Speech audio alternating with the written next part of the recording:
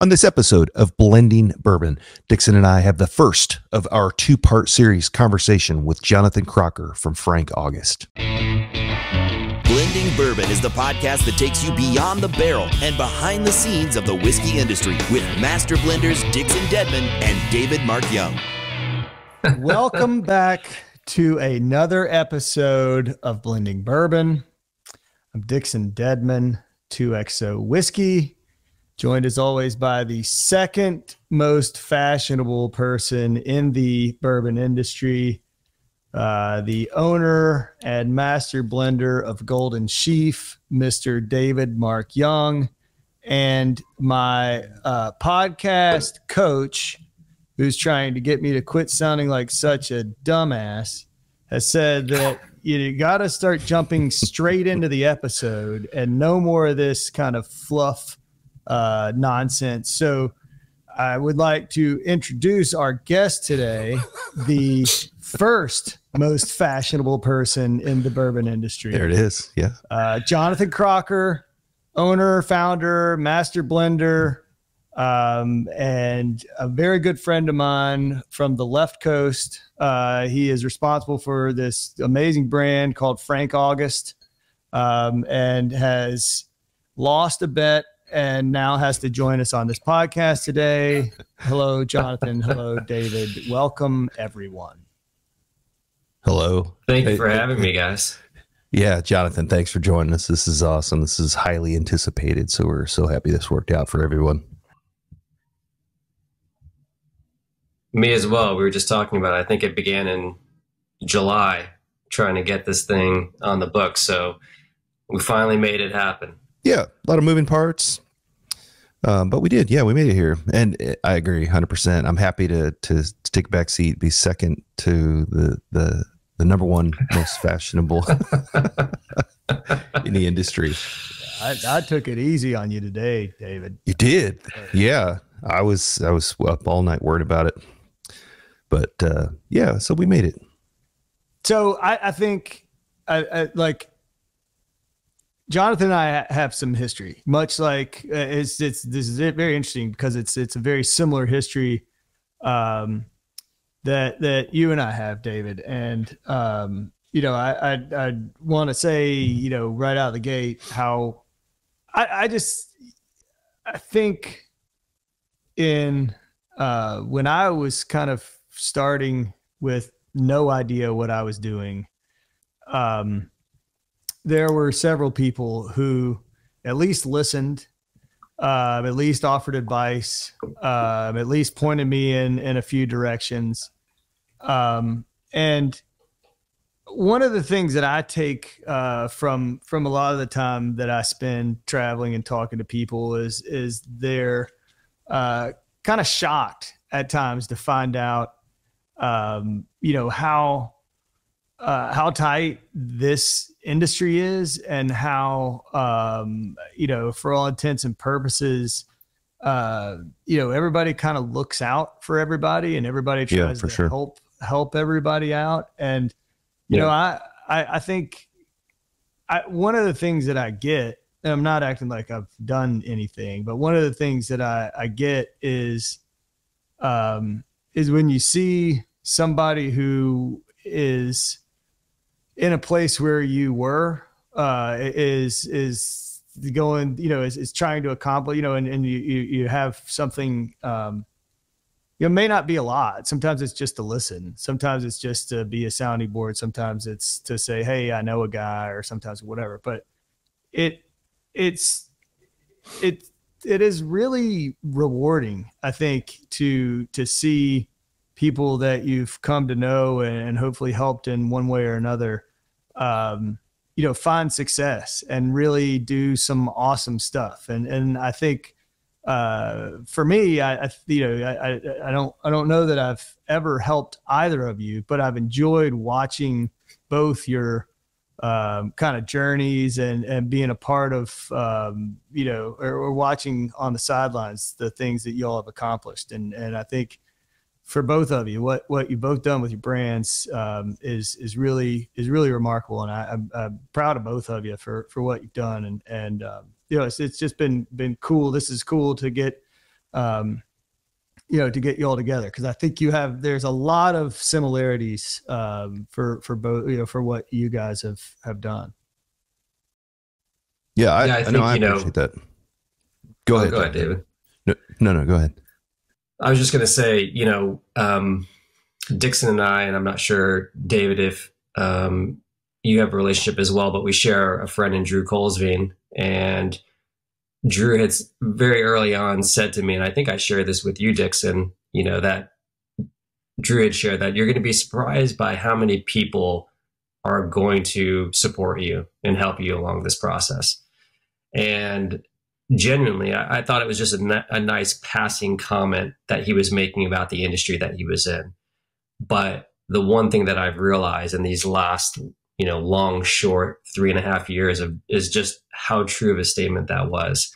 And Dixon was, you know, uh, sincerely one of the very first people that I had the privilege to meet, get to know, and develop a relationship with, and someone that I, you know, sincerely call a friend now, three and a half years later. So it is, it is an amazing industry. It's a part of the industry whose story that I think needs to be told more you know, it's not just those extreme examples of the Heaven Hill fire and how the industry rallied alongside, um, you know, a brand like that, but it's the everyday kind of small, inconsequential decisions or small brands like ourselves that are coming up that some of these amazing people in the industry coming alongside of you and, you know, offering all of their experience, insight, and support. It just, it doesn't happen in any other industry. Typically, in most industries, in order for your brand or for you to be successful, that means your competition needs to fail at some point. And, you know, I'm not suggesting that there's no competition in, in our industry, but there really is this idea, this philosophy that a rising tide raises all boats. And it's something that, you know, I take a lot of pride being a part of in some very small capacity now. Yeah, I can agree more. Um, and, you know, extremely grateful for Dixon all you know on a, on an ongoing basis, um, and, and it continues to perpetuate. And so you know, I find myself in a position where I'm um, asked a lot of questions and um, always willing to you know pay it forward and and reciprocate what I've received in the industry. So you know, Dixon, give you a lot of credit. It started with you, at least for me. Um, and so you know, pe- people ask questions all the time, and if I can't answer the question, I'm always you know sharing your phone number and, and writing it in random bathroom stalls just to uh, spread the good the good word, the good wealth. well, you know, my goal was to fish for some compliments, and I think I accomplished that. So that was that was great. Um, that was good. That was good. Yeah. yeah. So I mean, um, Jonathan, like straight thirty thousand foot elevator pitch um, you know, you, you know, I, I, know that you're, you're present in, in, in a dozen markets or whatever, but, but if, if you got somebody who, you know, you, you're, you come across and they say, Hey, tell me, tell me, you know, tell me about what you got going on. Tell me about, sure, tell me sure. about your brand. The uh, yeah, I mean, I think the elevator pitch is the name represents the story that we want to tell in bourbon. So Frank is inspired by one of my business partners' late father, Frank Datella, and August is inspired by my other business partner's son's middle name, Nils. Or I'm sorry, my other business partner's son, Nils, middle name, August. So Frank representing our past, understanding our heritage, our history, where we've come from, where we've been, and August representing all our future ideals, aspirations, and just the idea of looking forward. Because as we all know very well, traditionally the story of bourbon has been told by its past. It's told by looking back and looking back only. So we want to pay our respects, but at the same time look forward.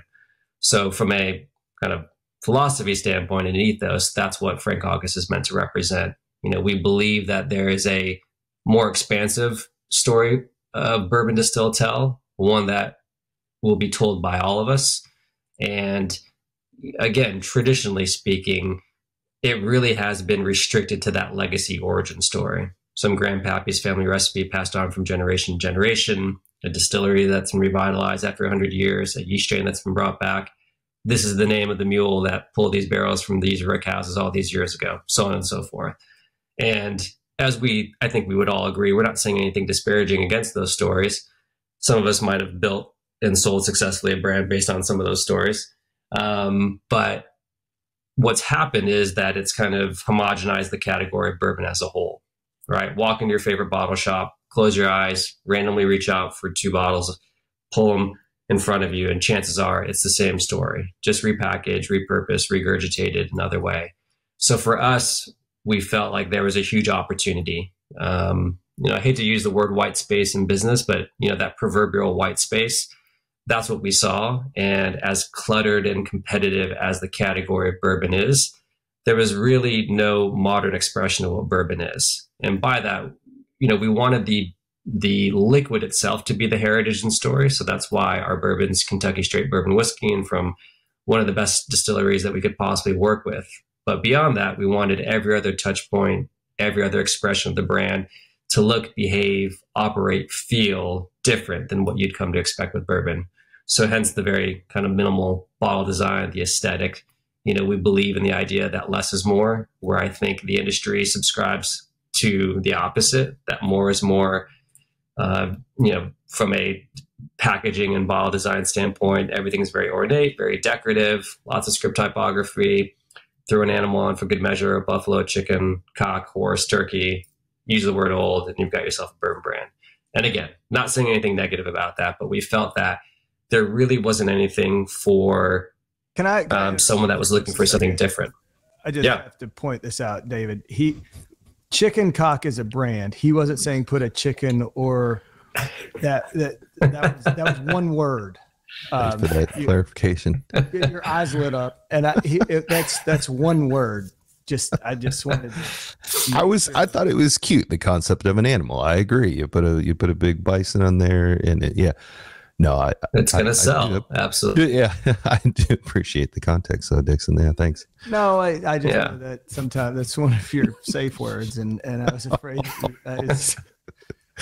this is where we decline, Jonathan. Apologies. no, no. But yeah, you know, I think you know, when we look at what's the statistic now, I think we're going on about 15 years of year over year double digit growth within our industry.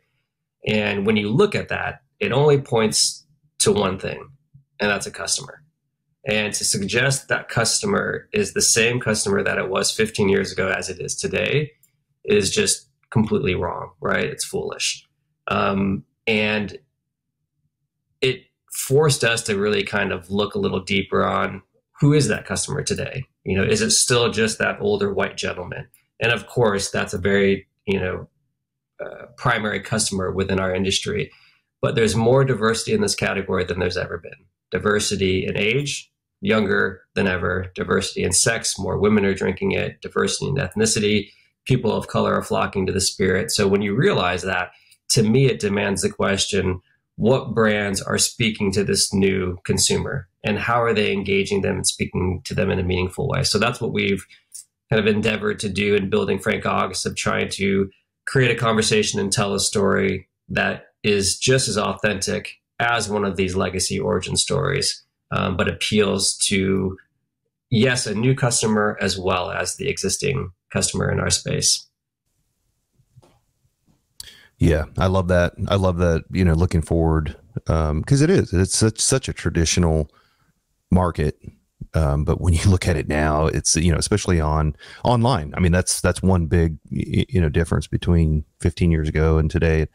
Um, the virtual whiskey enthusiast, and um, despite some of the shenanigans that you know conversations that happen around taters and and whatnot you know it's still a completely different demographic and it's really interesting to to you know it's broad and wide and uh, you know younger folks are getting into it. You, you know you, you, listed off all of the um, the change to the the consumer. And so that's interesting to to um, you know I'd love to have been a fly on the wall or, or, or to you know hear some of the conversations as you've developed your marketing strategy and develop that persona of your uh, you know target consumer. Because yeah absolutely. That's that's a great lens. I love that. And you know the, the concept behind it that's love it even more.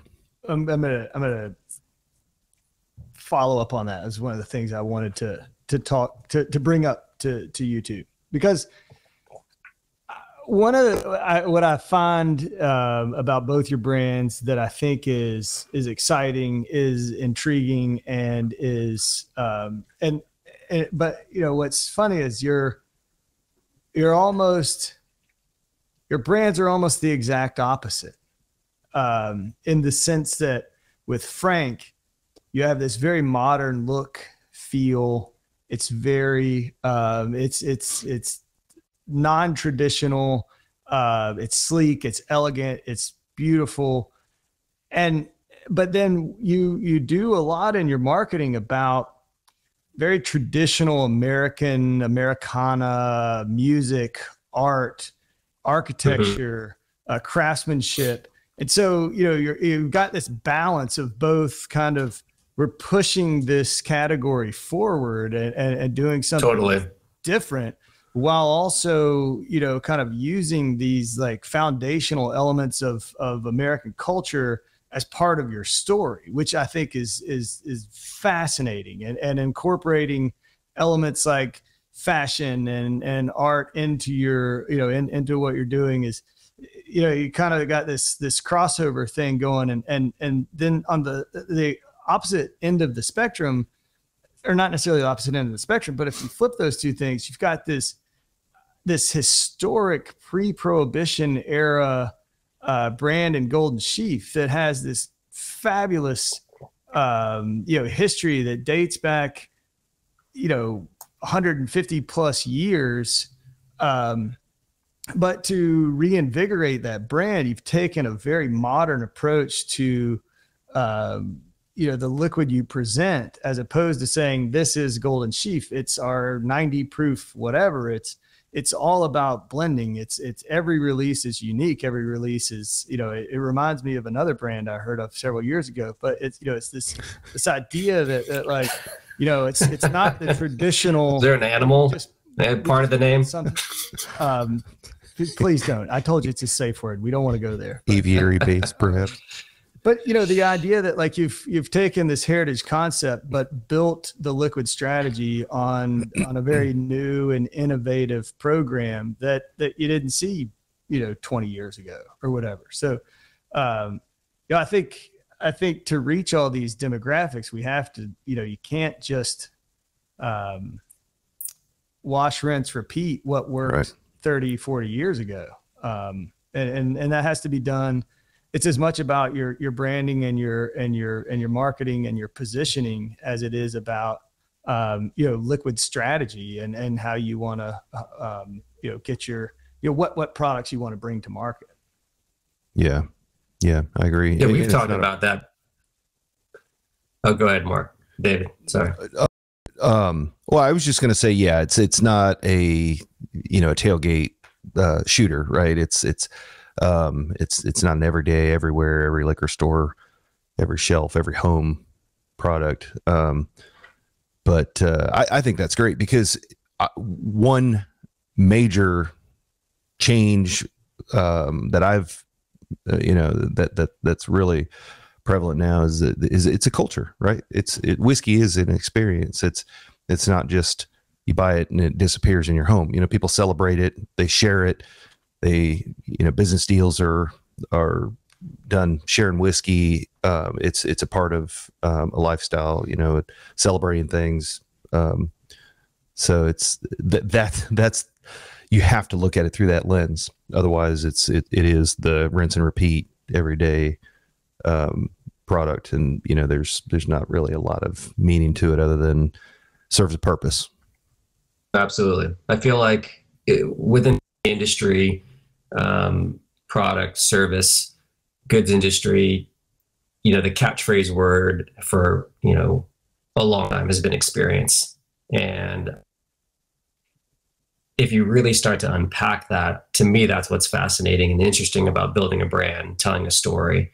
And I remember one of the first times that I connected with Fred Minnick, and I was walking him through the whole concept, and this was three years ago. And about kind of halfway in between, he kind of stopped me and said, Jonathan, you know, I love the branding, I love the idea, I love the story, I love the design, but my fans, all they care about is what's in that bottle. That's all they care mm-hmm. about.